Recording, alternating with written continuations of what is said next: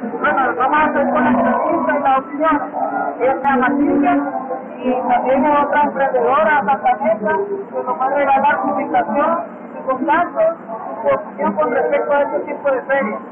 Silvia, ¿qué le pareció este tipo de ferias? Pues la verdad es que abre muchas oportunidades porque te da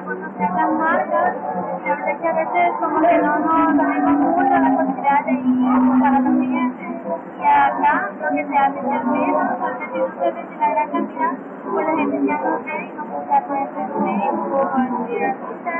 ya de ahí prácticamente ahora la plataforma de publicidad hasta cierto punto gratuita es una redes sociales. Bueno, aparte de todo eso, regálele al público la ubicación, los contactos suyos, aquí con su negocio, ahí está la cámara. Mi marca es a lo máximo, es una marca familiar,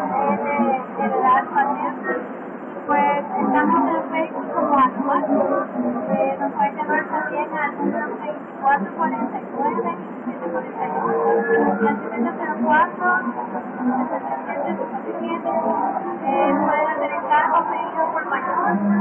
Pues les ofrecemos de nuestros productos del café la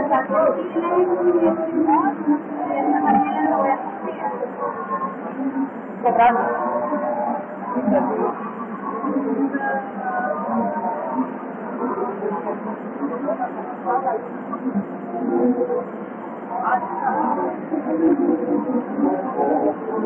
Ya, porque